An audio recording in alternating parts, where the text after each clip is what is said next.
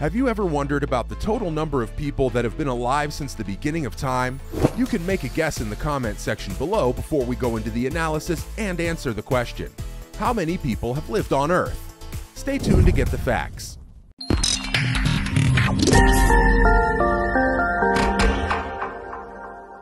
Since you've made your guess, let's get straight into simple analysis. There are about 8 billion people on Earth with current estimates, but humanity came into existence about 50,000 years ago. And through the Stone Age, to the Iron Age, and till today, humanity has continued to grow in population. It is difficult to make an estimate of the number of people who've been alive at every point in time because there are hardly any records before the 1800s when development became very rapid and technology gradually started to grow. So, there's no existing literature from which we can get figures required for any calculations.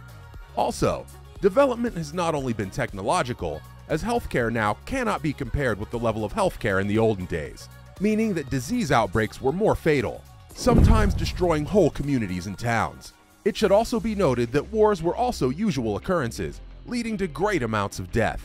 Some individuals are also responsible for great amounts of death, People like more recently renowned Hitler, the instigator of the Second World War, Mao Zedong in China, Genghis Khan, who killed so many people that the earth started to cool, and other people who committed mass murder have also impacted the expected population of humanity that has existed.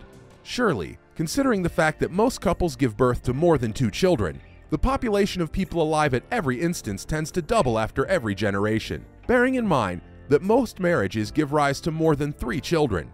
At least until recently, the population has always grown despite the aforementioned threats to the number. Claims of a population explosion during recent years have been due to the fact that while the death rate has been greatly reduced due to recent discoveries and inventions in healthcare and other aspects of human lives, the birth rate has hardly been reduced. Scientists have made an estimate of the total population of people to have lived on Earth, and they arrived at a figure of just over 100 billion, 108 billion to be exact. The researchers have come to the conclusion that if you go back a couple thousand years, humans had to have around 80 new children per 1,000 people per year in every community, because most were lost to the issues earlier mentioned. Despite all of these, 108 billion humans have seen the face of the Earth, and with the look of things, even more will do so in the next few years. And as technological advancement focuses a lot on prolonging human life, it also creates even more chances for procreation.